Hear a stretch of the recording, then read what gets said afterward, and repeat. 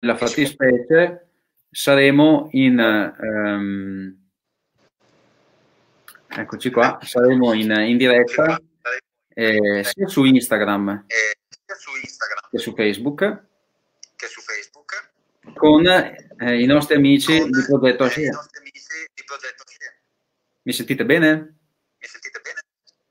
Sì. Ok, io sento un po' di eco. Okay, e, um, quale può essere il problema? Quale può essere il problema? Prova adesso. Ok, sì, sì, perfetto, molto meglio, non vi vediamo più. Allora, eh, chiedo anche ai miei amici su Facebook, ai nostri amici su Facebook, se ci vedono. Io sono connesso eh, sia su Instagram che appunto su Facebook. E siamo connessi dall'altra parte del mondo. In questo momento siamo esattamente eh, in diretta con Salvador De Bahia, ditemi se si pronuncia giusto, con Marcos e Cesare, eh, fondatori, cofondatori del progetto Asce. Che cos'è il progetto Asce? Bella domanda, chiediamoglielo loro. Chi è che risponde per primo? Posso rispondere io, sono Cesare. Ciao Cesare. Benvenute e benvenuti a tutti a questa conversazione. Progetto Asce nasce 30 anni fa, il 2 giugno 1990, in Brasile, nella città di Salvador, capitale dello stato di Bahia. Nasce ed è battezzato con un nome che non è portoghese Asce. Asce è un'espressione della lingua africana Yoruba, portata dagli schiavi sulle coste del Brasile durante 250 anni di schiavitù. Asce vuol dire energia positiva, ma non soltanto questo, è quell'energia che al tempo stesso è energia e realtà. Si dice Hashem e le cose succedono e l'augurio si concretizza. Per cui ho dato questo nome al progetto Hashem non soltanto per rendere un doveroso omaggio alla religiosità e alla cultura afro-brasiliana che in Salvador eh, conosce attualmente la sua concretizzazione più eh, autentica e al tempo stesso più numerosa, ma soprattutto per dare l'idea che questo progetto voleva prestare un servizio a quelli che sono i valori fondamentali di qualsiasi nazione, ossia i bambini e le bambine. Ma Cesare, scusami se ti interrompo prematuramente, però voglio farti subito una, un domandone che magari ti risulterà banale, però eh, non abbiamo ancora detto, almeno se non sbaglio, dove siamo collocati geograf- geograficamente, no? perché Salvador de Bahia è eh, in Brasile, correggimi. Evidentemente che sì, ma io all'inizio avevo detto uh, che, eh, che, Salvador era la capitale dello stato di Bahia in Brasile, nel nord-est brasiliano. Salvador è la porta della, uh, dell'area geografica brasiliana più depressa, che è il nord-est, al tempo stesso più ricca di cultura di manifestazioni artistiche e culturali.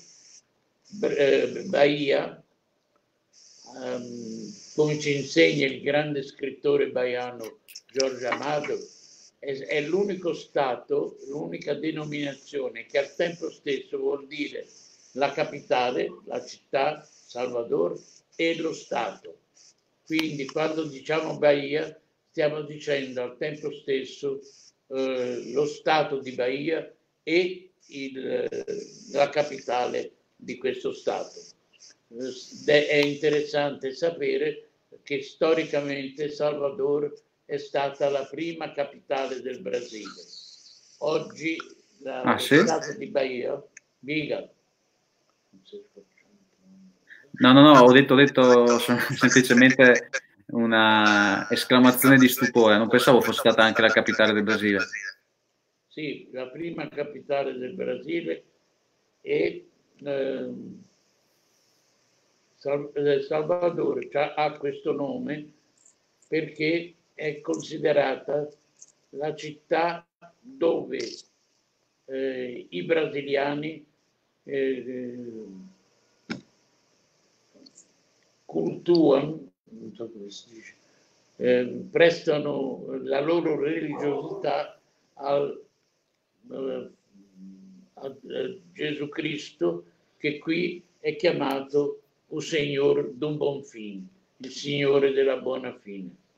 E al tempo stesso perché si chiama Bahia? Bahia perché è, ha un golfo, il secondo golfo più grande del mondo, Golfo Marino, e quando è stata ehm, per la prima volta eh, raggiunta da navigatori europei, loro si sono accorti che era così grande che sembrava quasi l'ingresso di un fiume, lo stesso equivoco che i navigatori hanno commesso a Rio de Janeiro quando entrarono nella baia di Guanabara e pensavano che si trattasse di un fiume. Era il mese di gennaio e chiamarono quel posto fiume di gennaio, Rio de Janeiro.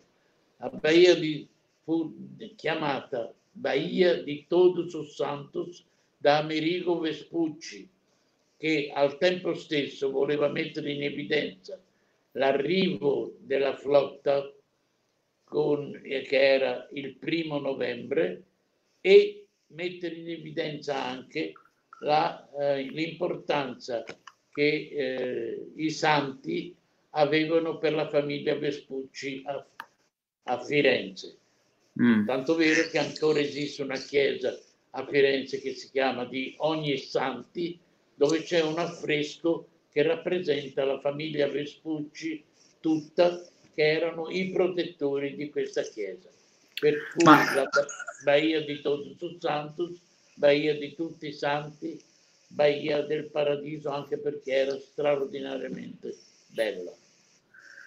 Ma toglimi una curiosità, hai già eh, chiamato in causa due o tre elementi che, se non sbaglio, si intrecciano un po' con la tua vita, perché anche tu sei originario di Firenze, anche io sono fiorentino, figlio di genitori napoletani.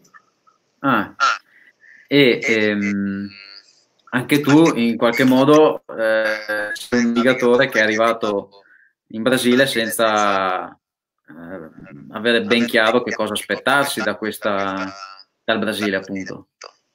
Io sono venuto in Brasile nel 68 con un gruppo di fiorentini per un viaggio di tre settimane in Amazzonia.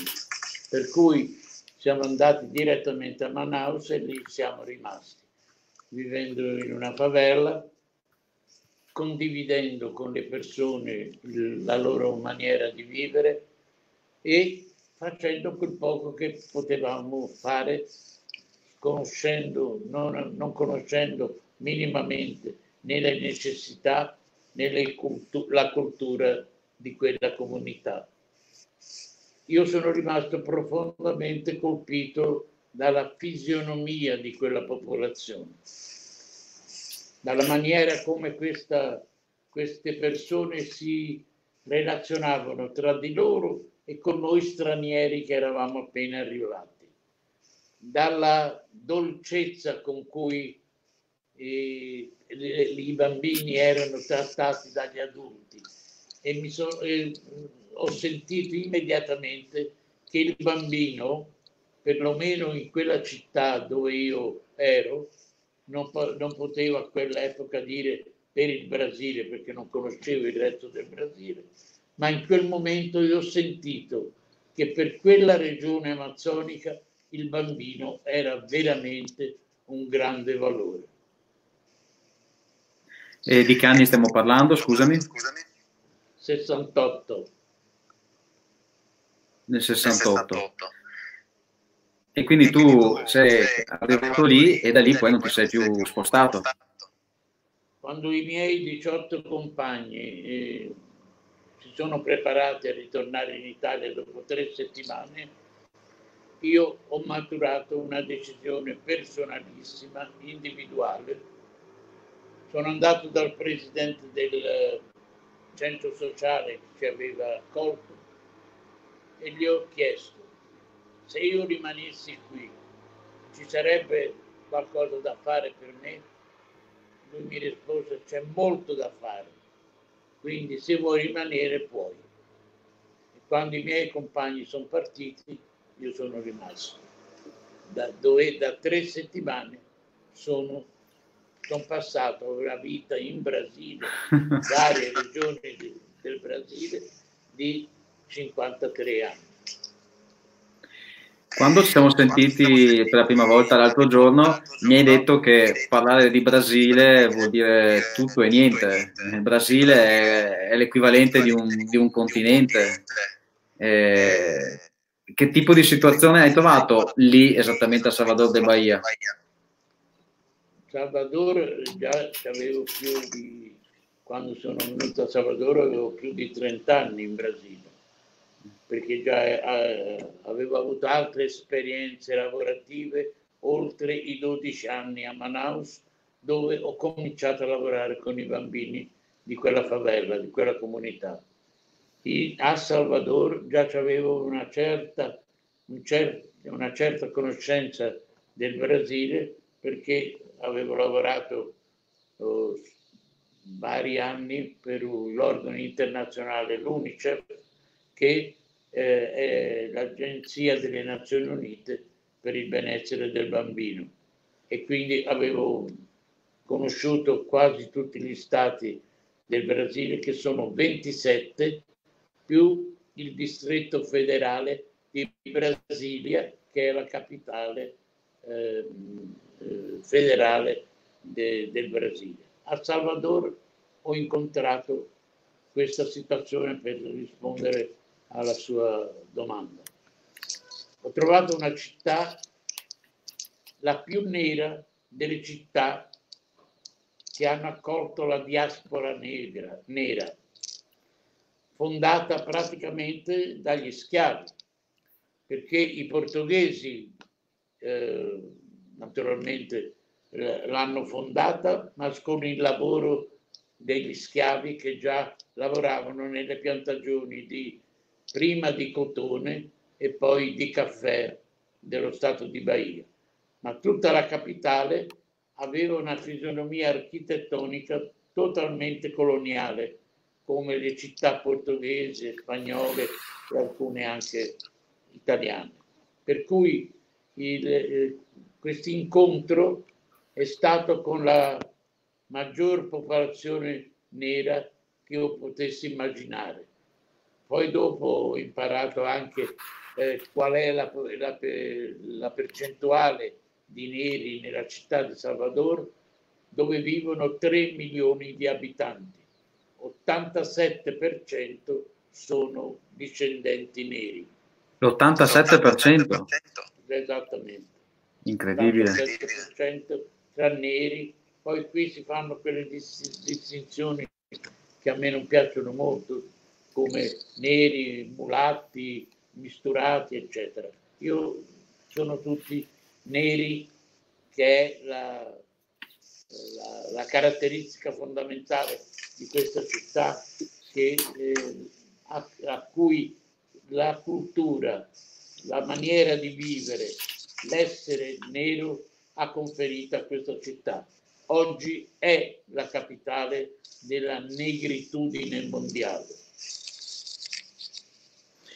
Ma quindi Caetano Veloso, che poi è di qua da Salvador, l'ha chiamata la Roma nera in una delle ma sue va. canzoni.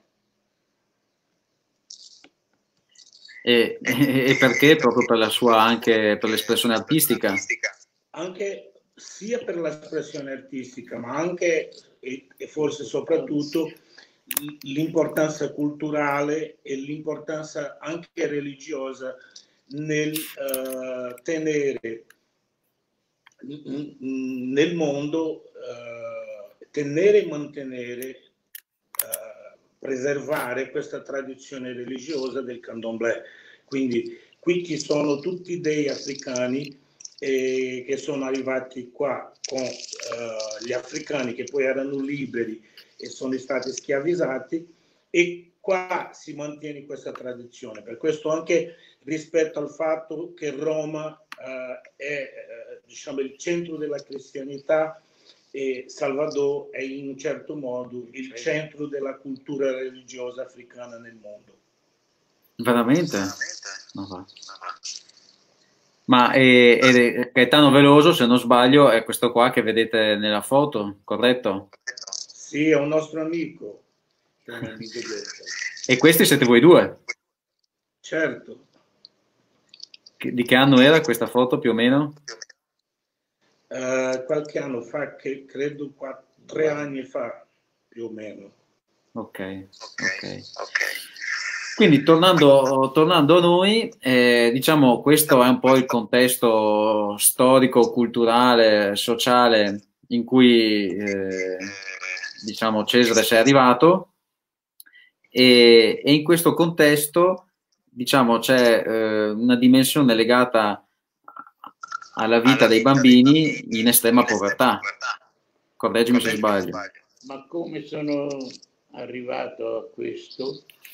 Perché alla fine de, degli anni 80-89 circa, io ho deciso di separarmi dalle Nazioni Unite, di dimettermi e stavo pensando se rimanere in Brasile o tornare in Italia quando ho avuto un incontro con i rappresentanti di un'organizzazione italiana di cooperazione internazionale non governativa che si chiama Terra Nuova e che ha sede a Roma. In quell'anno Terra Nuova stava aprendo nella città di Salvador su, il suo ufficio di rappresentanza in Brasile, avendo deciso di eh, finanziare qualche progetto che potesse cominciare a dare risposte a quel a, a, virgolette, fenomeno virgolette, che in quell'epoca si chiamavano os meninos di rua, i bambini di strada e che erano a Salvador particolarmente numerosi e sparsi nella città. Loro mi hanno invitato a eh, coordinare questo progetto per i bambini di strada finanziato da Terra Nuova, ma perché prima, durante cinque anni, durante la mia il mio lavoro a Brasilia con l'Unicef, io avevo avuto un incontro che ha trasformato radicalmente la mia esistenza umana, professionale, professionale e sociale. Madonna. L'incontro è stato con un'immensa figura straordinaria brasiliana che è il filosofo dell'educazione Paolo Freire Paolo ah. Freire era stato mandato in esilio dalla dittatura militare per, la, per aver pubblicato il suo libro, il libro più straordinario che ha fatto il giro del mondo ed è stato tradotto in decine di lingue, che è stato la pedagogia dell'oppresso. Quando Paolo Freire è ritornato in Brasile, io ero ancora il numero due dell'Unicef in Brasile, l'ho, l'ho invitato per essere il consulente pedagogico dell'Unicef in Brasile e lui accettò, per cui ho, ho avuto molta convivenza con questo straordinario genio dell'educazione che chiamandolo di pedagogista lo si diminuisce moltissimo. Paolo Freire è un filosofo dell'educazione, ha conferito alla pedagogia all'educazione una, un valore filosofico e esistenziale che solo lui è stato capace di eh, mettere in evidenza e di mettere soprattutto in marcia concretamente. Ma è questo signore che vediamo nella foto? Sì, sì, quello è Paolo. Ma e poi sintetizzarci per quanto possibile i due o tre pilastri della sua filosofia educativa? Sì, lo condivido con Marco questa risposta. La cosa più fondamentale è che il, il diritto fondamentale della persona umana, quindi del bambino, dell'essere in formazione, è l'educazione. L'educazione nel senso di partecipazione alla costruzione della propria esistenza individuale e sociale. L'educazione come momento indispensabile perché il bambino passi gradativamente da una all'altra età. Paolo Freire aveva il potere delle, delle, sintesi, con poche parole dire cose straordinarie. Per esempio, ve ne propongo una, educare non è mettere nella testa del bambino una serie di nozioni. Educare non è un'educazione bancaria, nozioni che si depositano nel, nel, nell'educando. Educa, eh, l'educazione è soprattutto dialogica, è un momento in cui l'educatore e l'educando si scambiano e sia valori sia insegnamenti. Anche il bambino insegna perennemente all'educatore. Bellissimo. Eh, credo che rispetto a, que- a, questo che dice Cesare, una delle cose, una delle massime più conosciute eh, tra quelle che dicono questo in modo molto bello è quella dove lui dice che nessuno educa nessuno, nessuno eh, si educa da, da solo. Le donne, le, le, gli uomini si, si, educano tra di loro. Quindi al, al centro del discorso freiriano, della proposta di educazione, è la libertà e se noi non riusciamo a dialogare e a tenere il dialogo, che lui dice che l'unica forma di capire una situazione o, o di cercare di... Uh, l'unica evidenza che una situazione è stata davvero dialogica è quella che quando le persone che sono lì insieme in dialogo escono da quella situazione diverse. Dopo, dopo stare insieme e parlare si deve per forza diventare un qualcun altro, un, un altro essere. Quindi il dialogo come elemento della trasformazione e della costruzione di un'educazione eh, per la libertà, eh, un'educazione liberatrice. Lui diceva anche molto, e questo mi sembra molto importante, perché lui diceva quando, eh, eh quando l'educazione non è liberatrice, eh, l'oppressore, l'oppresso, eh, vuole soltanto diventare eh, l'oppressore. Quindi per essere liber- liberatrice l'educazione ha bisogno di provocare un cambiamento totale di mentalità nella struttura sociale come un, un tutto. È, è, giusto per questo che lui è stato buttato via nel periodo della dittatura militare, eh, che è anche un periodo eh, dove, in cui Cesare arriva qua per questo in questo momento eh, sociale anche in, in, cui viviamo, l'attuale governo sembra non eh, rispettare o riconoscere questo sapere eh, eh freireano, perché ti, ti, porta a pensare la vita in, in una maniera tutta diversa. Ma sì, quindi mi, mi, sembra di capire che dia dignità sia al, diciamo, ai ragazzi da educare, cioè c'è pari dignità fra l'educato e l'educatore. Sì, sì. Volevo aggiungere che eh, nei cinque anni che Paolo Fredi ha lavorato per l'Unicef a Brasilia, ho avuto tutta la possibilità di discutere con lui i fondamenti di questo progetto che avevo in testa e che era ancora senza nome. Per cui quando ho avuto la possibilità di metterlo in marcia, il mio sogno era farlo realizzare in una me- megalopoli brasiliana come San Paolo che ha 16 milioni di abitanti o Rio de Janeiro che ne ha 8.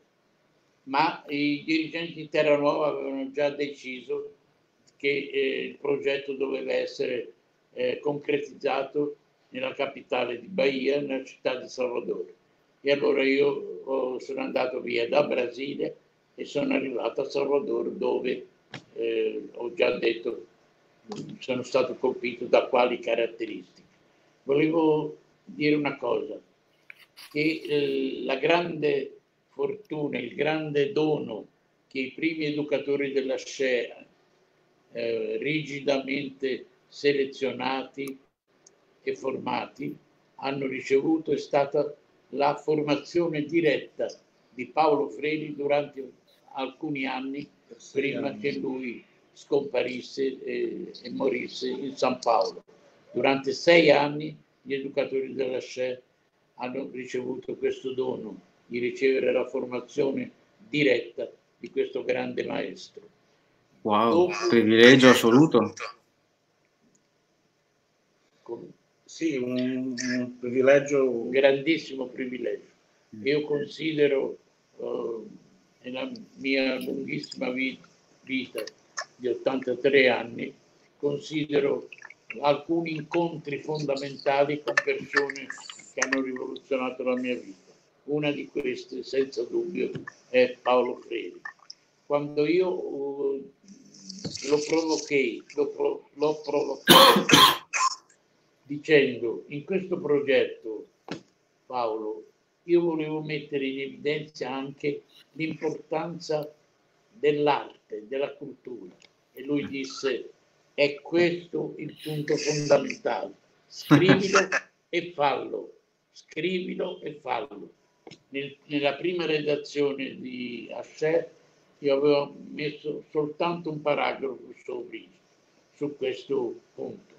Poi tutto ciò si è sviluppato fino a diventare l'arte educazione, il pilastro, la colonna fondamentale della costruzione dell'edificio del progetto Asher. Arte educazione. All'inizio erano due pilastri, l'arte e l'educazione. E poi, dopo, tutti insieme, coralmente, perché io sono stato il fondatore, aiutato da Marcus, però la, la SCE è una costruzione corale, collettiva, che si arricchisce ogni giorno, non solo del contributo degli educatori, ma anche del contributo degli educandi. Quando... Ma, scusami, scusami Cesare se ti interrompo, ma nel concreto, eh, spiegami un attimo, cosa vuol dire fare arte educazione? Nel concreto? Cosa vuol dire fare arte educazione? Prima devo spiegare che non è arte e educazione, come stavo mm. spiegando. Siamo arrivati Scusami. al punto di avere, di avere la, la certezza che è impossibile educare senza l'arte, senza la cultura, senza la bellezza.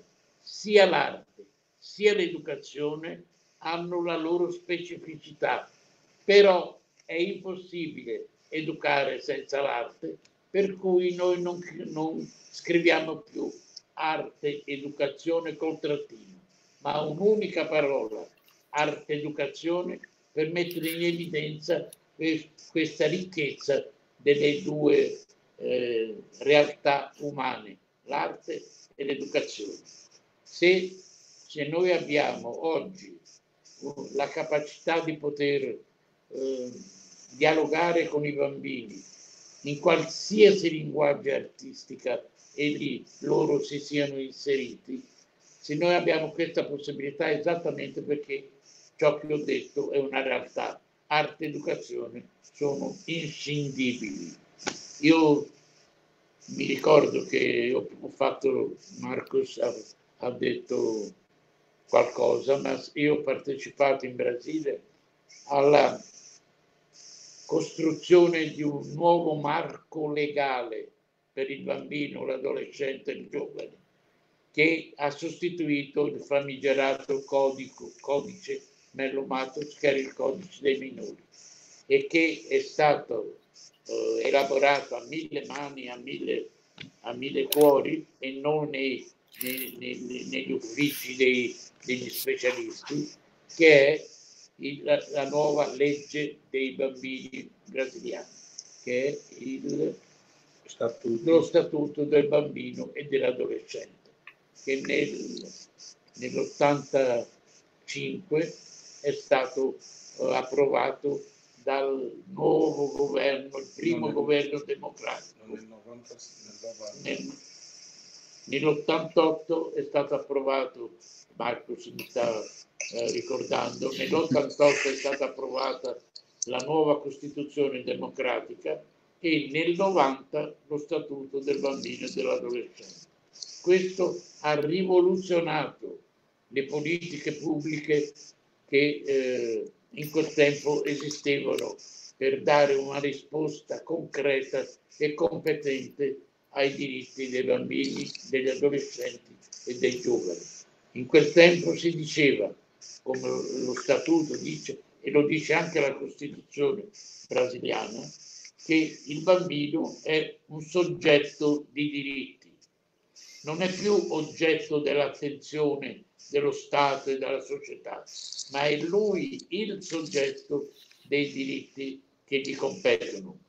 Alla CE abbiamo allargato questa soggettività e da una monosoggettività l'abbiamo fatto diventare una triplice soggettività. Il bambino è sì soggetto di diritti, di diritti ma è anche soggetto di conoscenza e soggetto di desiderio. Questo per dire, per introdurre rapidamente, ma ci vorrebbero molte ore per eh, spiegarla, la pedagogia della SCE che ha un nome specifico e una sua specificità che è la pedagogia del desiderio, dei cui contenuti teorici Marcus è il più importante autore perché oltre ad essere educatore è anche psicanalista. E a, attraverso il concetto di desiderio di Freud e di Jacques Lacan siamo arrivati alla, al desiderio del bambino e alla pedagogia del desiderio.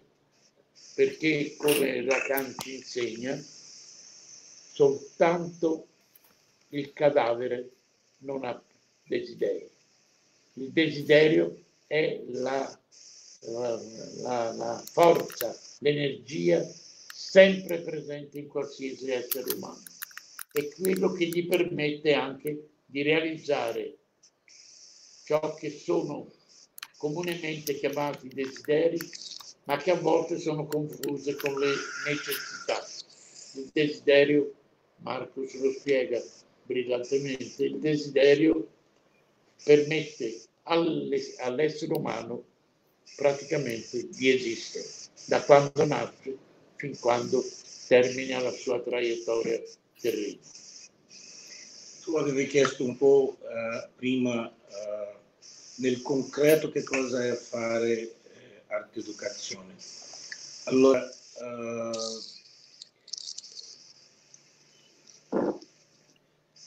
credo che la prima cosa è tornare un po' a quello che diceva Cesare.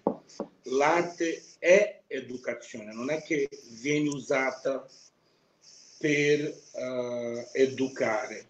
Quindi un primo modo di capire questo nella pratica è una grossa parte del lavoro eh, degli educatori, dei nostri arti educatori, è quella di vivere l'arte insieme con i nostri educatori, con, no- con i ragazzi.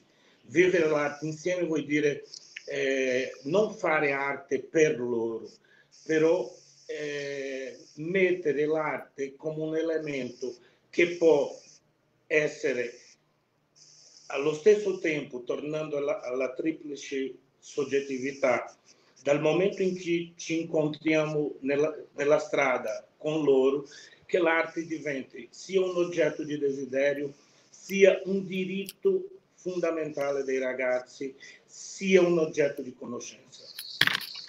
Quindi andare in strada, per esempio, noi abbiamo, per, per andare a, una, a, un, a, un, a, un, aneddoto e un esempio molto concreto, noi abbiamo un, un, un pullman eh, che è un'unità mobile che circola nella città di, circola nella città di Salvador.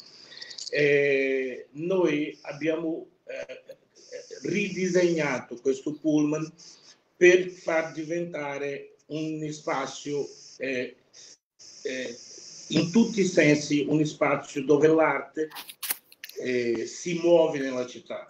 Per esempio, tutto, tutto il pullman è decorato. Eh, decorato con opere di arte eh, quindi è come se fosse una esposizione, un, un, museo in cammino, in strada.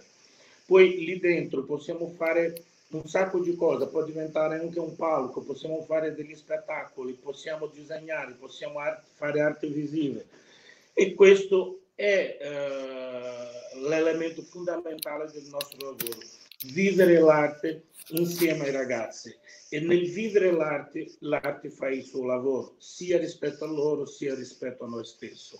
Perché i nostri ascoltatori capiscono ancora meglio il concetto che Marcus ha appena spiegato, io considero questo omnibus che si chiama Ashe Busu.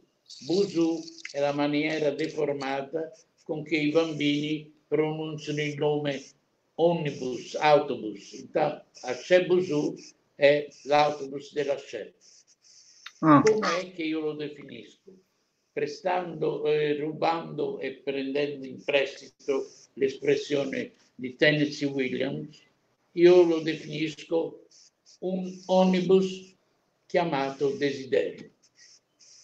Parafrasando la la pièce di, di, di Williams, che poi è diventato un film famosissimo, eh, un tram chiamato Desiderio.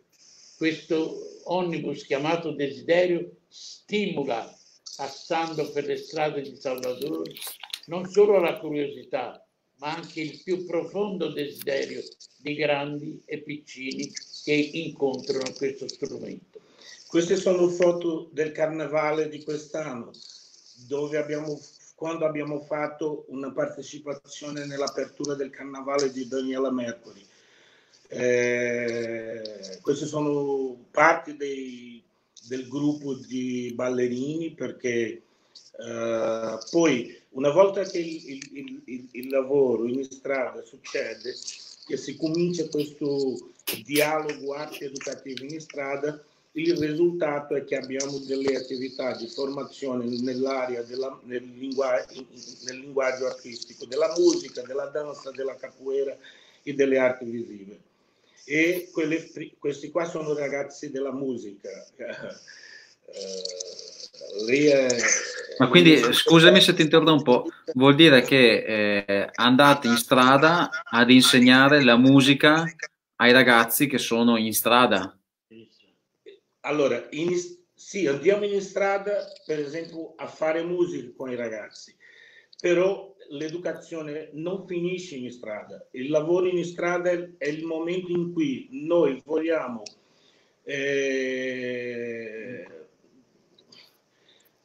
riconnettere i ragazzi con il loro desiderio.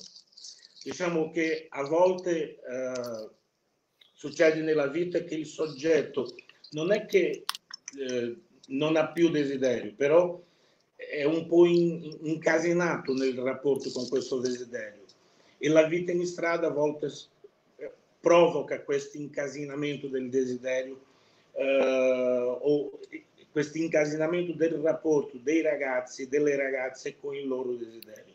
Quindi quando entriamo con l'arte si attiva nuovamente un processo di desiderio, eh, possiamo anche usare come metafora, un, un riprendere la capacità di, di, di sognare, di pensare a un futuro diverso, di pensare a una vita diversa da quella che loro erano stati condannati, perché non è che uno va in strada perché vuole essere in strada.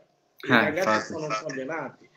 Eh, la vita e la presenza delle popolazioni di strada in tutto il mondo è soltanto un grosso aspetto de, di, un, di, una, di, una, cosa che possiamo chiamare in una maniera generale una necropolitica. È un modo in cui le società, eh, lo Stato, un po' dappertutto si organizza per far eh, decidere chi sono i corpi che devono vivere e quelli che devono morire. Quindi la scelta contro questa necropolitica va nella direzione di garantire il diritto alla vita, ma eh, soprattutto lavorando con la bellezza e con l'arte come, eh, come questi, queste, queste due esperienze fondanti del, eh, anche del processo di desiderare. Volevo completare la spiegazione di Marco per permettere soprattutto ai nostri ascoltatori eh, di eh, penetrare un pochino di più in, questo, in questa misteriosa ma reale realtà, non è un gioco di parole, misteriosa ma reale realtà dell'arte educazione e della pedagogia del desiderio.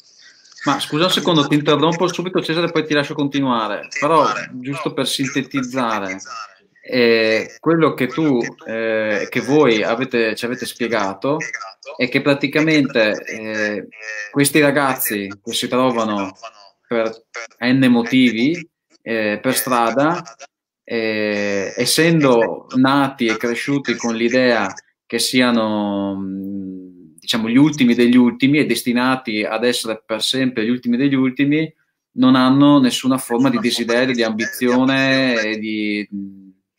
per cui la pedagogia, pedagogia del desiderio nasce proprio con il concetto di stimolargli una forma di desiderio, una forma di speranza di fatto. Sì, ok. Vorrei, vorrei specificare ancora meglio. Perché Vai, prego la tua eh, considerazione mi ha, mi ha, fatto capire che eh, c'è bisogno di completare. Marcos mm. parlava, parlava, della missione della Cebusu, ma molto prima della Cebusu noi abbiamo praticamente inventato una figura professionista dell'educazione che è l'educatore di strada. L'educatore di strada non va a caccia di bambini.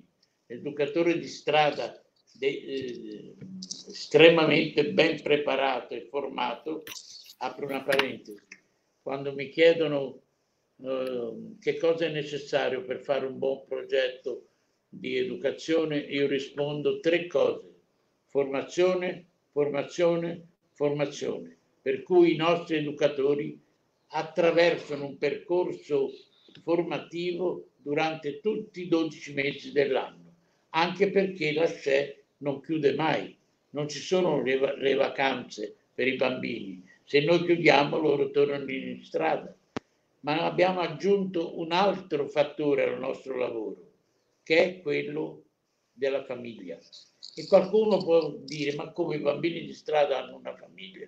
Io rispondo, certamente di sì, mica sono stati partoriti dall'asfalto, ce l'hanno una famiglia, hanno un'origine esistenziale, per cui noi creiamo sempre attraverso l'educatore di strada e la, il coordinamento del, dell'appoggio familiare, che è un altro strumento eh, di, di lavoro, includiamo tutti i giorni le famiglie dei nostri educandi e educande.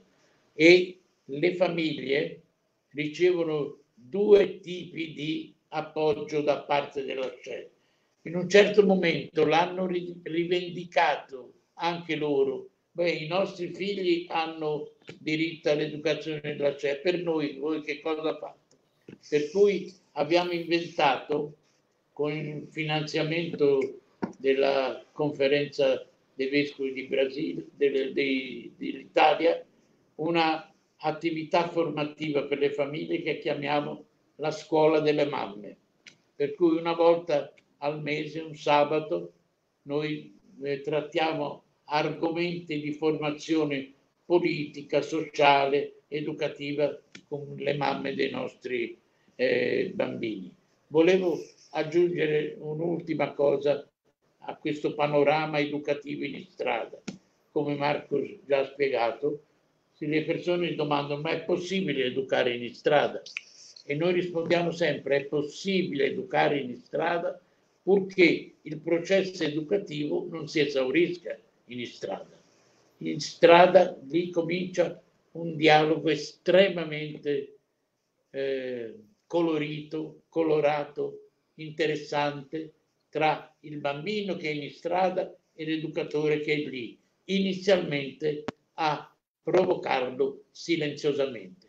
Poi il dialogo fluisce. Peccato che non abbiamo tempo per poter dettagliare questo processo che è fondamentale e che di, ha approdato anche in questi 30 anni, ha approdato in Africa, in vari paesi dell'America Latina, negli Stati Uniti e soprattutto in Italia.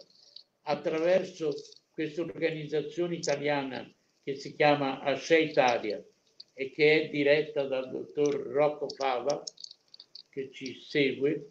Che salutiamo. Eh, abbiamo fatto eh, vari momenti formativi negli ultimi 7-8 anni attraverso la, eh, il lavoro di eh, Asce Italia. Per cui i concetti di arte educazione e pedagogia del desiderio sono conosciuti abbastanza in città di, dell'Italia e la nazione in questo momento. Ci interessa di dire che è ben coinvolta in questa, um, in questa diffusione della pratica dell'arte educazione e della pedagogia del desiderio. Scusa se ti interrompo Cesare, eh, stiamo vedendo nel video, spero lo vediate tutti, delle, è un video che avete girato voi, penso, per le strade di Salvador. Eh, abbiamo appena visto, si vede ancora qua il fermo immagine, eh, questa, questo ragazzo che sembra essere in una discarica e praticamente trova Giaciglio sottoterra. Riesci un attimo, riuscite un attimo a spiegarci che cos'è questa scena? Sì, questa, questa è una cosa che eh, succede spesso, nel senso che non soltanto i ragazzi giovani, ma anche tanti adulti eh, vivono in queste zone e eh, sia eh, per proteggersi o anche per dormire eh, usano questi posti in un modo eh, di protezione proprio. È, è, un po', questa è una, una, scena classica della vita in strada. Questo è un gruppo di ragazzi nella, nella zona della Causada, eh, dove c'è molta povertà, molta eh, anche il fenomeno dello sfruttamento sessuale infanto-giovanile e dove noi abbiamo un gruppo di educatori che tutti i giorni, che poi questa è anche una cosa importante, la SE quest'anno fa 30 anni e sono 30 anni che noi tutti i giorni andiamo in strada a incontrare, a lavorare con i ragazzi. Loro stanno facendo qua una, un loro percorso un po' eh, è anche qua in un certo modo un modo loro di, eh, di divertirsi per arrivare a questa, quest'altro posto da lì da dove erano loro, in questa spiaggia del Cantagalo, che poi è un posto molto... Eh, per andare a, a, a, una fiera grossa, molto popolare, dove loro poi chiedono da mangiare o fanno piccoli servizi per cercare di fare qualche soldi per sopravvivere. E qua è il lavoro dell'unità di danza.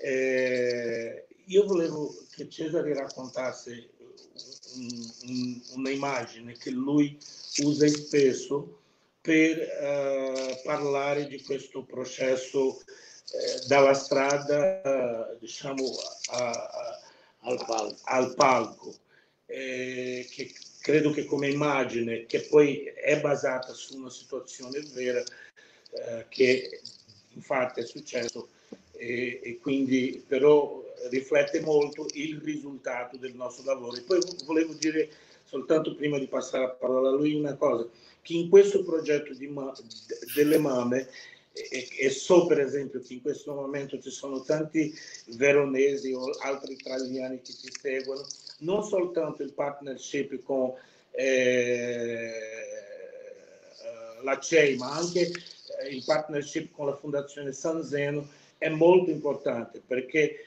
questo partnership ha possibilitato di creare delle borse di studio e che tra l'altro in questo momento del coronavirus ci dà un'enorme possibilità di sostenere eh, la vita e il mangiare di tutte queste persone che non possono in questo momento venire da noi. Però volevo che Cesare raccontasse un po' questa immagine e poi credo che fa un questione per concludere. Sì. Eh, prima ancora di rispondere alla richiesta di Marco, volevo aggiungere che eh, la Fondazione San Zeno, di cui Marco Par ha, ha messo in evidenza l'importanza nella partnership con progetto Chef Brasile, nella Fondazione San Zeno è stato possibile eh, ripassare l'importanza a, a, ai dirigenti della, della Fondazione, l'importanza del fatto formativo per bambini. Rispetta, vi sentiamo un po' male. Deve ripetere. Prova, alza anche un po' la voce forse. Sì. Stavo dicendo che l'importanza della partnership con San Zeno, con la Fondazione San Zeno, deriva anche da, da questa realtà, la capacità che i dirigenti di San Zeno hanno avuto e che Asce Italia ha avuto a trasmettere dell'importanza della formazione sia degli educandi, sia degli educatori e sia delle loro famiglie. Per cui questo finanziamento di eh, possibilità di accesso alla formazione praticamente politica, sociale, pedagogica di mamme che non hanno mai avuto l'opportunità di studiare è una grandissima conquista di, eh, di, eh, di Asce Italia, una grandissima conquista di Asce Brasile con questi finanziamenti mirati della Fondazione San Zeno che ha, nonostante sia una delle ultime arrivate in ordine cronologico tra i, i partner della CE, diventa ogni volta più sostanziale molto, molto più forte a misura che il tempo passa e che i risultati di questa partnership appaiono nella vita dei bambini. Rispondendo alla richiesta di Marcus, primi, primi anni di Brasile, di Aceh, già avevamo parlato varie volte con i bambini di strada, di strada che erano piccoli artisti già giocavano capoeira, danzavano, eh, facevano percussioni su strumenti eh, improvvisati, già avevamo par- cominciato a parlare di arte, di bellezza, di musica, di danza con i bambini, ma senza una sistematica. Un giorno il direttore del più prestigioso teatro di Salvador, che è il Teatro Castro Alves, mi telefonò dicendo Cesare posso darti 50 biglietti di ingresso per uno spettacolo al teatro domani. E io gli chiesi, ma che spettacolo è questo? E lui mi rispose e io mi rabbrividì, evidentemente. So, è il lago dei cigni di Tchaikovsky. Io dico, com'è che porto bambini di strada ad assistere al lago dei cigni? Poi mi sono ricordato che educazione è soprattutto capacità di osare. Mi sono messo insieme con i 4-5 miei collaboratori dell'epoca e abbiamo deciso di portare i 50 bambini. Sporchi, con i sandali havaiani, eh, di plastica, con, con camicette approssimate. Che vanno di moda adesso. Non abbiamo uh, fantasiati di bambini della classe media, li ho mm. portati così come vivono in strada. Eravamo tutti tremando quando il palco, quando la, chiama, il sipario cominciò ad aprirsi. Io eh, avevo il terrore che i bambini si scocciassero, si annoiassero e cominciassero a movimentarsi nel teatro o che si addormentassero. Nessuna delle mie tragiche previsioni si realizzò. Appena il sipario si aprì, alle prime note dell'orchestra e ai primi movimenti dei ballerini, furono letteralmente rapiti da ciò che succedeva sul palco.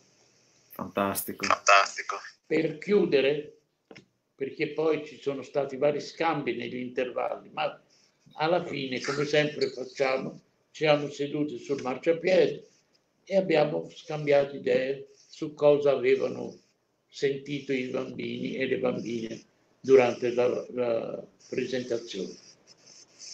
E a un certo momento una, una, bambina, io dico che la donna è sempre più eh, osata, coraggiosa, forse anche più intelligente di noi uomini.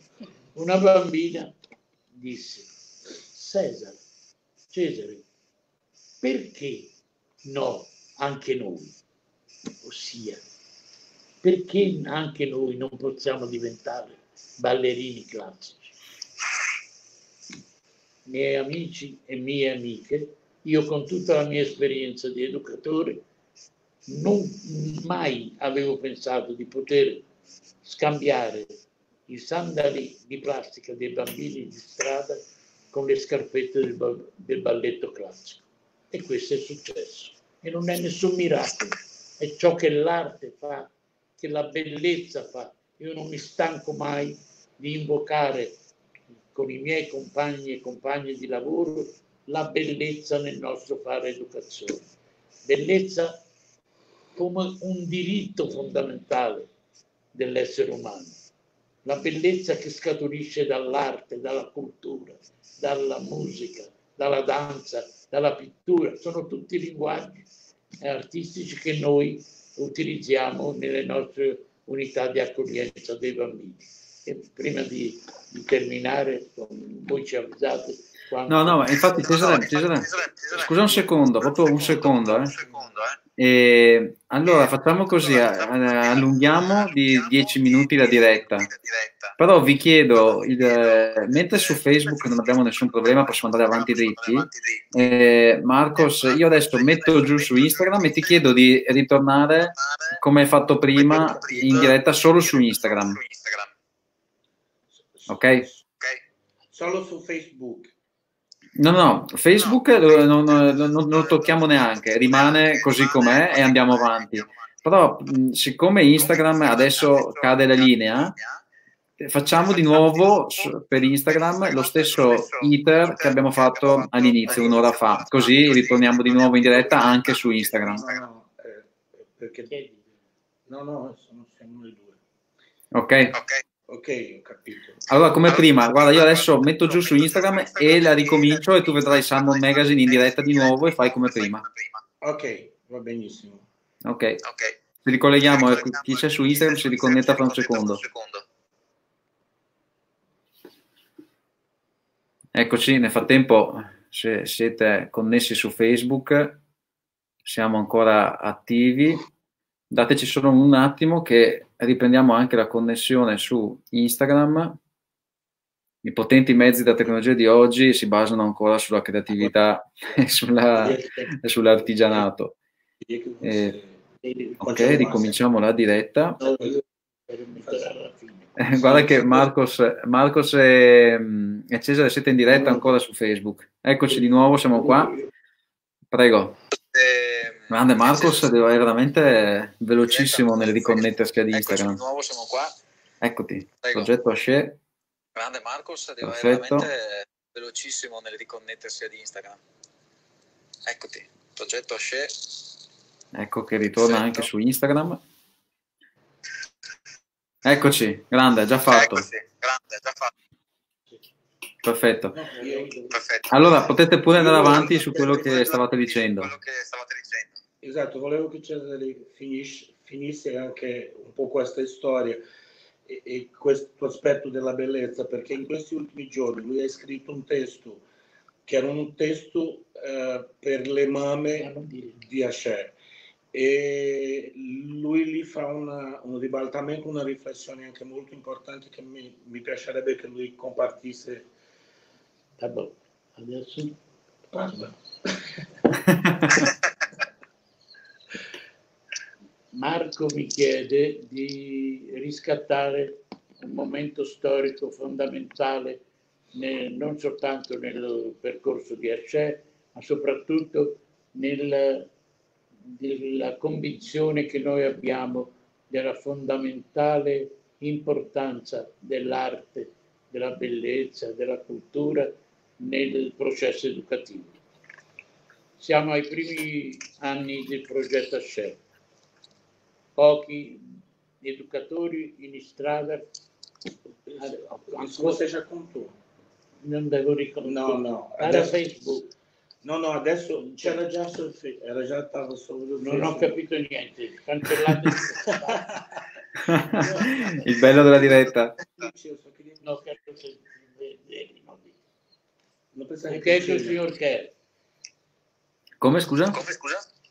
Você non precisa dele, non mi Ho capito, lui è perché lui pensava che doveva ripetere tutte quelle storie dall'inizio. Ah, no, no, no, no, no, no. Non è mai finita la diretta praticamente. Non è mai finita la diretta, capito? Voi dovete sapere che io sono analfabeto in tutti questi linguaggi orribili, tecnologici, che non so neanche come sedermi di fronte a, una, a uno schermo. Per cui se non sono ben eh, collocato in, eh, in, sintonia con quello che voi volete, faccio ciò che non so. Non preoccuparti, non preoccuparti Cesare, non è nulla di così fondamentale. Mentre, mentre Cesare raccontava quel, quel momento lì del, del teatro, del teatro eh, volevo riprendere delle cose che lui ha detto prima e che ha a che vedere con i principi di Asher. Per esempio, questo è un esempio sia che fa capire diciamo, la, la genesi, l'origine dell'arte educazione in Asher, la genesi dell'arte come desiderio e, e dell'arte essendo educazione, ma soprattutto un, un qualcosa che diceva Cesare prima, i veri educatori e, e quell'aspetto dialogico di cui parlava Paolo sono i, i ragazzi, perché sono loro, è, è, quella bambina che ti ha detto e, e ti ha fatto capire qual era la strada che dovevamo fare. E, e poi subito lui ha cominciato a parlare, a fare una sintesi dell'importanza della bellezza. Però lui in questi giorni ha scritto qualcosa che mi piacerebbe che lui anche compartisse qua, perché ha proprio a che vedere con, uh, con questa dimensione eh, importante per noi anche in questo momento, soprattutto in questi momenti della, della bruttezza del, del coronavirus. Giusto. Giusto. Vai, vai, Cesare. Ok. Io durante tutti questi anni non ho mai smesso di ricordare ai miei arte educatori, che sono tutti evidentemente, tutti siamo arte educatori, una affermazione di Dostoevsky. Solo la bellezza salverà il mondo. Però recentemente ho avuto un'intuizione che ho, eh, che ho offerto in riflessione ai miei compagni e alle mie compagne di lavoro. L'intuizione è questa. Se è vero che solo la bellezza salverà il mondo, ma chi salverà la bellezza? E allora ho ribaltato l'affermazione di Dostoevsky e ho detto gli uomini e le donne salveranno la bellezza, il mondo salverà la bellezza e questo Bellissimo. è fondamentale per chi eh, crede fermamente che si ha il diritto di vivere qualsiasi tipo sia la nostra vita, di qualsiasi tipo, so, eh, di qualsiasi estrazione sociale.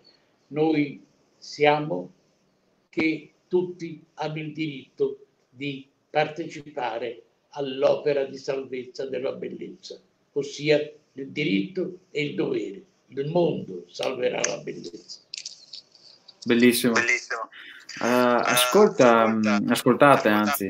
Eh, beh, intanto volevo dire che se eh, tra gli ascoltatori c'è qualcuno che vuole fare domande, eh, volentieri le giriamo ai nostri ospiti della diretta e magari vi chiedo per favore di scrivere in italiano perché il portoghese non, non lo capisco. Approfitto per dire che ci sono tanti che vi salutano e con tanto affetto mh, vedo che Gianna, Gianna Manelli vi, vi, saluta, ci sta ascoltando con, con grande attenzione. E, mh, invece volevo farvi io una, una domanda. E, io anche per il tipo di studi che ho fatto eh, ho trovato in diversi dei vostri dei punti che voi avete ci avete raccontato dei riferimenti a uno dei personaggi che più in assoluto secondo me significativi del Novecento Bruno Munari. Non so se lo conoscete. Chi? Bruno Munari. Munari l'artista? sì. Sì sì Ecco. ecco. Beh, tante, tanti dei riferimenti a cui che ci avete fatto mi ricordano l'attività di Bruno Munari. Detto questo, la mia domanda era, ehm, in Italia quali sono eh, diciamo, i grandi mh, protagonisti eh, e portatori di un messaggio tipo simile, cioè che si ispira ai principi a cui vi ispirate voi? Io metterei in evidenza eh, il grande educatore di Reggio Emilia che ha eh, rivoluzionato il processo educativo e che ha portato l'UNESCO a definire le scuole di Reggio Emilia le più belle scuole del mondo. Wow! A lui ha eh, avuto un ruolo fondamentale nel, a, alla luce anche dei, di ispirazioni di Paolo Freri, ha avuto il ruolo fondamentale di capovolgere anche lui il, il rapporto educatore-educando, dove il bambino è anche lui un educatore. Il, il, questo grande educatore, uh, Malaguzzi. Malaguzzi. Malaguzzi. È stato, è stato Rocco a ricordarcelo, secondo me. Ma, io l'ho scritto anche questo in, in un testo della scelta. Malaguzzi eh, arriva a, a, una, a un concetto che si deve necessariamente trasformare in pratica educativa in tutte le scuole del mondo, che è il concetto del bambino competente, ossia il bambino non è solo un ascoltatore, è in primo luogo il, primo e più importante educatore perché suggerisce ai suoi educatori le sue necessità arte educative. Il, concetto di bambino competente è un concetto fondamentale per educare che io ho usato non solo perché ho visitato varie volte le scuole di Reggio Emilia e letto i testi di Malaguzzi, ma anche perché nelle mie formazioni ai nostri educatori ho sempre citato questa intuizione, questa pratica di Malaguzzi. Di che anni stiamo parlando? L'altro, l'altro incontro fondamentale, ma in quell'epoca io non ero, eh, non ero mm, in, in, contatto con il problema educativo. In quell'epoca io avevo solo una curiosità di studente fiorentino di visitare la scuola di Don Milani e Don Milani è un altro riferimento fondamentale, rivoluzionario nella mia maniera di eh, intendere l'educazione. Eh, ho, ho detto che in quel tempo non ero dedicato ai problemi dell'educazione, ma ciò che ho imparato con Don Milani l'ho riscattato a distanza quando sono, mi sono tuffato totalmente eh, a corpo pieno nelle questioni educative, soprattutto per quei bambini che io li definisco così, quei bambini che nessuno vuole e che noi vogliamo. Ma adesso va tanto di moda la Montessori qua, Cesare. Io preferirei non parlare. Ma come? Guarda che crolla, crolla lo share qua. È una grande educatrice, soprattutto per la sua epoca, ma a, a, mio, a mio modestissimo giudizio ci vuole un po' di tempo per spiegare e comprendere la teoria montessoriana. Guarda, è arrivata una domanda, è arrivata una domanda dal pubblico. Eh, Svevav mi, mi chiede, eh, cioè vi chiede, intanto vi saluta con tanto affetto e poi chiede che cosa sognate per i bambini italiani. Rispondi tu. Gostaria che, no, mi piacerebbe che rispondesse prima il brasiliano e poi io. Guarda, questa è una, una domanda eh, difficile, nel senso eh, io la vorrei mettere nel contesto di questa situazione del coronavirus e dire che non solo per i, i bambini italiani, ma io davvero aspetto che per tutto il mondo eh, un certo modo di esistenza possa, possa cambiare, eh, che si possa o inventare un qualcosa di completamente nuovo o riscoprire certe cose che si sono persi. Uh, a me spaventa per esempio uh, pensare, uh, per esempio qua in Brasile, la quantità eh, di perdita che noi eh, stiamo avendo, eh, se noi consideriamo per esempio eh, la vita di tutti, di persone anziane e di persone eh, in, in un'età più avanzata. Io, allo stesso modo in cui eh, Cesare riesce a sempre valorato come molto importante, anche come all'inizio lui diceva, eh, i bambini, i giovani sono la scia più importante di una società. Non posso neanche pensare a una società senza queste persone sagge, anziani. Chi, chi, chi si prenderà cura di questi giovani? Chi si, si occuperà di lasciarli la memoria? Chi si occuperà di farle capire da dove arrivano? E quindi c'è eh, eh, credo che più che mai, più che in qualsiasi altro momento, noi abbiamo bisogno di reinventare un'educazione intergenerazionale che è sempre successo, è sempre stata vissuta nelle comunità più semplici e che eh, diciamo l'evoluzione più materialista, più capitalista della società ha cominciato a eliminare. Eh, e quindi ritrovare questo modo per rincontrarsi con i nostri anziani, con i nostri vecchi, con i nostri non so, credo che questo è un desiderio che io ho molto concretamente per tutto il mondo. Pensare a, una, a un'idea, come diceva l'attuale presidente del Brasile, chi se ne importa se questi vecchi vanno via, muoiono. Eh, l'importante è salvare l'economia, non lo so, io do, mi piacerebbe pensare un mondo sia per l'Italia che per il Brasile dove il modello economico fosse tutto un altro.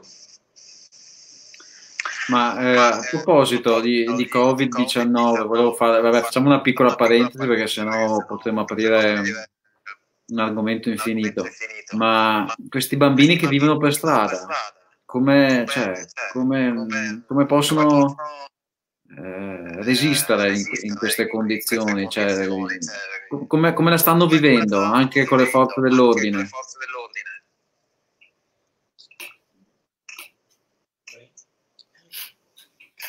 Eh, le forze dell'ordine non possono eh, diciamo fare, fare, nulla, nel senso che eh, eh, fino adesso almeno qui a Salvador non è stato nessuna, uh, nessun lockdown completo. E quindi Uh, però il problema principale è che tutte queste persone che vivono in strada o sono in strada o i ragazzi con cui esce nella sua grossa maggioranza lavora non hanno eh, le condizioni per esempio per, per, eh, per vivere la, la regola più importante di questo momento che sarebbe questo isolamento sociale. E quindi noi, e qui un'altra volta la partecipazione della Fondazione San Zena è molto importante, stiamo cercando di uh, uh, offrire eh, mezzi, di mezzi di protezione sia uh, dal punto di vista igienico del loro ambiente sia dal punto di vista di igiene personale e soprattutto il basico, la possibilità di avere qualcosa da mangiare. Eh, il, il, coronavirus eh, non è uguale per tutti.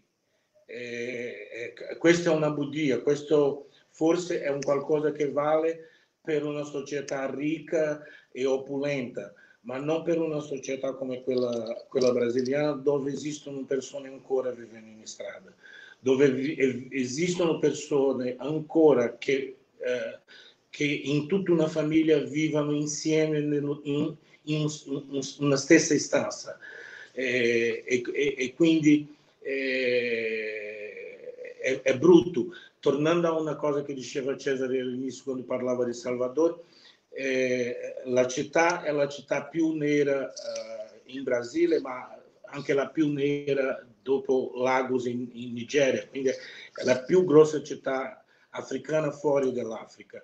Incredibile.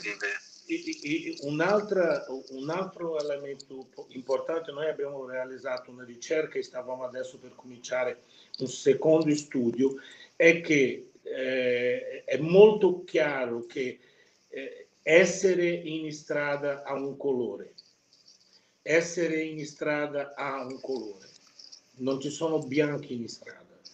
Eh, e, e, quindi eh, essere destinato a essere in strada è anche risultato di un razzismo eh, istituzionale che è dappertutto, che è qua, che è in Italia. Quindi, tornando un po' alla domanda di Sveva, io sognerei bambini non classisti, non razzisti, eh, non uh, misogini, io sognerei bambini che possano libertarsi e reinventare una società non patriarcale. Io sognerei per i bambini d'Italia, ma sto sognando da 30 anni anche per i bambini brasiliani e sognerei per tutti i bambini del mondo un'educazione dove il bambino fosse riconosciuto come, come elemento di un dialogo, non appena, non soltanto per ricevere, ma anche per dare, per suggerire, per desiderare. per i bambini italiani mi sogno dei genitori capaci di ascoltare, dei professori e degli educatori capaci di ascoltare, la ministra dell'educazione di, eh, italiana capace di ascoltare i, le, i desideri che molte volte silenziosamente salgono dalle, dalle classi delle scuole italiane e dall'interno delle famiglie italiane. Ascoltiamoli questi bambini, non diciamo io so cosa questi bambini, di cosa questi bambini hanno bisogno, non sappiamo, lasciamolo dire a loro, lasciamo assumere questo ruolo di protagonista limitato della sua propria educazione. Eh, eh, direi che grandi, grandi verità. Ma a tal proposito mi viene da chiederti anche per chiudere, per chiudere la diretta. Eh, l'altro giorno quando ci siamo sentiti al telefono ti ho chiesto, dopo così tanto tempo, eh, quali cambiamenti hai visto e, e davanti delle, alle difficoltà che ancora oggi si ripropongono in un Brasile in cui un po' tutti sappiamo eh, che cosa sta succedendo anche dall'alto, sembra rivivere le situazioni che, fino, che si sperava non si, non si vivessero più, eh, fin dai tempi di quando arrivasti per, per la prima volta in, in, Brasile. Per cui, diciamo, a distanza di tempo eh, potrebbe anche subentrare dello scoramento. Correggimi se sbaglio, Cesare. Non solo subentra, ma ti attanaglia varie volte al giorno, varie volte durante il mio lavoro mi attanaglia la tentazione dello sgomento la tentazione di dire non c'è niente da fare. Ma è una tentazione. E come tutte le tentazioni cattive, ci sono tentazioni buone evidentemente, eh, eh, eccellenti tentazioni, questa è una tentazione cattiva, deve essere allontanata. Chiaro, la mia profonda eh, delusione viene da questo. Abbiamo lottato per la democrazia, siamo riusciti a eleggere presidenti della Repubblica in, eh, in elezioni dirette. Siamo in un ambiente democratico innegabile, di una certa libertà anche di parola, ma dipende dall'attuale situazione politica del Brasile uno scadimento progressivo dei valori democratici. Quando c'è un Presidente della Repubblica che contro tutte le evidenze, solo per prendere in, come esempio la situazione della, della pandemia, contro tutte le evidenze scientifiche, contro le evidenze dei grandi scienziati brasiliani che lavorano eh, in Brasile o all'estero, continua a predicare la fine dell'isolamento sociale. Ossia, praticamente quando alcuni giornalisti mi chiesero, e una, una, una rivista inglese prestigiosa pubblicò, ha pubblicato settimana scorsa nella sua copertina, quando gli chiesero, eh, Presidente, ma con tutti questi morti che si succedono giorno per giorno. Lui rispose in portoghese, e dai, che significa, e che posso fare? E il, la, il titolo della rivista era And so what? Interrogativo. Ossia, quando la vita è, è messa sotto le scarpe, sotto i piedi, evidentemente c'è bisogno di una rinfrescata politica e forse anche elettorale. Se mm, mi è consentito, volevo dare un'ultima parola prima di chiudere. Certo. Ci sono altre domande? No, no, vai pure, vai pure, Cesare.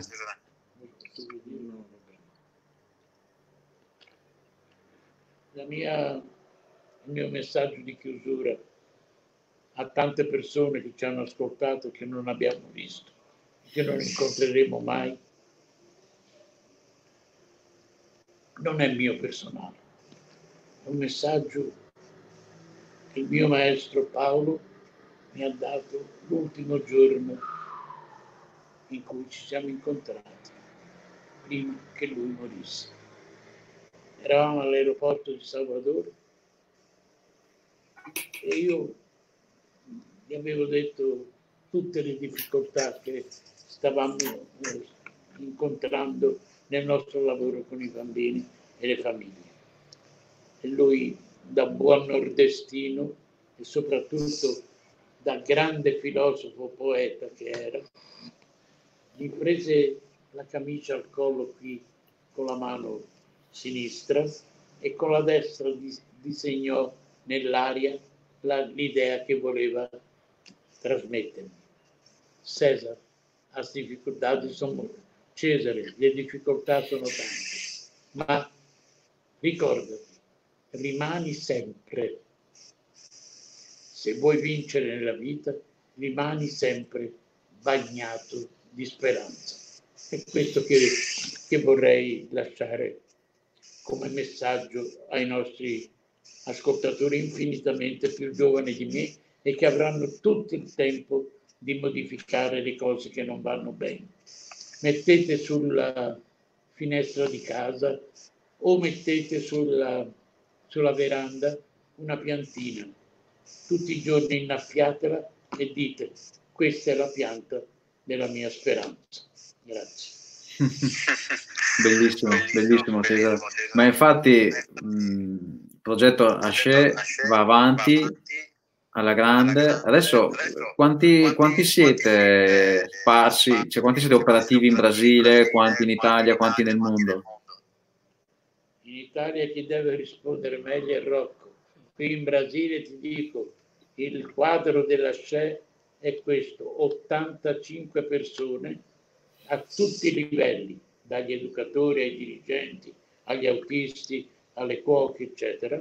Sono 84 persone selezionate, formate continuamente e remunerate. È chiaro però che Asce ha influenzato le politiche pubbliche non solo dello Stato di Bahia e della città di Salvador, ma di moltissimi municipi che hanno adottato la pedagogia del desiderio e l'arte educazione in Brasile. In Italia so che sono varie centinaia che stanno lavorando con questi strumenti in, per alcune decine di città. Beh, e quindi insomma è la dimostrazione che, che gli insegnamenti che avete ricevuto da Freire e da tutte le persone che avete incontrato in questi anni non solo li avete ascoltati ma li avete messi in pratica e quindi questa speranza di cui dobbiamo bagnarci ogni giorno va praticata e portata avanti e lo state facendo. E direi che se non ci sono domande, ma non mi sembra, o perlomeno eh, magari ci sono in portoghese e io non le ho capite, comunque sia il progetto Asce è presente sui social, così come su quindi sia Facebook che Instagram e, e ovviamente tra i siti web di, di riferimento. E se non avete altro da aggiungere anche voi, io eh, mi avvierei verso i saluti. Cosa dite Marcos e Cesare? Cosa dite? Sì, vai Cesare. Scusa. Posso dire ancora una parolina? Certo. È rapidissimo. Io quando parlo con i nostri partner eh, non ringrazio mai perché non stanno facendo qualcosa per me, ma faccio un doveroso riconoscimento della capacità che questi partner hanno di capire le vere necessità del progetto ASCE e di mettersi in cammino con noi sulla stessa lunghezza d'onda. È il caso, ripeto, della Fondazione San Zeno alla quale io non mi stanco mai di riconoscere questa grande capacità che ha avuto attraverso i suoi tecnici e il suo consiglio di capire, tra virgolette, di comprendere e di introgettare le necessità di Hashem attraverso la presenza, attraverso il camminare insieme, attraverso anche concretamente di donazioni finanziarie. Grazie ancora a tutti. Guarda Cesare che c'è una tua sorella che ti sta ascoltando e ti saluta in diretta, Rosa Maria. Grazie io. e con questa ragazzi direi che possiamo salutarci, è stato, io dico è stato un privilegio per noi poter ascoltare le, le parole di chi fa queste cose incredibili in Brasile, ma non solo. E, ragazzi, gente, meditiamo, meditiamo e ascoltiamo e prendiamo, prendiamo esempio. Grazie mille, è stato veramente un piacere. Non dimenticate di prendere un bicchierino di speranza tutte le mattine. Grazie, ciao a tutti.